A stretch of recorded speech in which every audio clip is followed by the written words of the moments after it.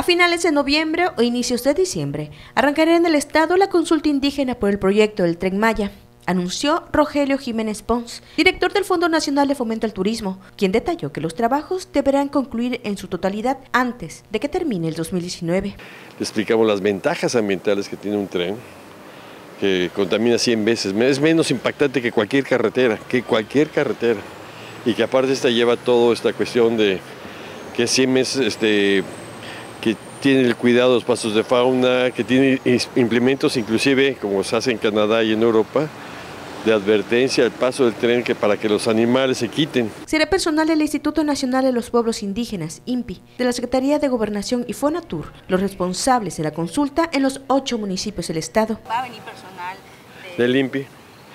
Eh, la dirección técnica la lleva a cabo el INPI.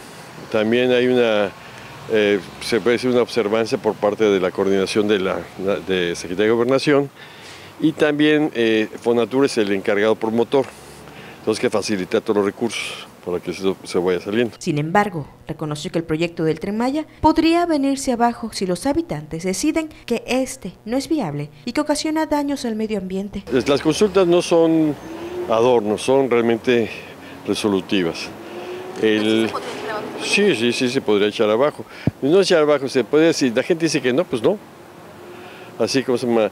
Pero yo creo que eh, lo que hemos, nosotros llevamos más de ya, más de un año, inmediatamente después de las elecciones, después del mes de junio, nos abocamos muchos técnicos a venir aquí a la zona a oír, a platicar del tren, a explicar las, ventajas, a platicar los riesgos, porque nada es al 100% y sentimos que la gente eh, fue, estuvo abierta en zonas como ejemplo Calakmul, en torno donde existe la legítima preocupación del aspecto ambiental. En caso de que la mayoría quiera y una comunidad se niegue el proyecto del Tren Maya, Jiménez Pons reconoció que habrá una compensación. Pues, si hay una regla, se tiene que obedecer, entonces ¿para qué haríamos la consulta?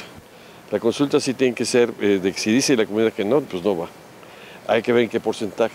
Entonces la legitimidad es que sea la mayoría que va. La, gran mayoría dice que sí, pero hay una comunidad que dijo que no pueden, pero la compensación de, ok, ¿qué quieres? Con imágenes de Omar Barrera y edición de Mónica Villanueva, Elsie Martínez, Telemar Noticias.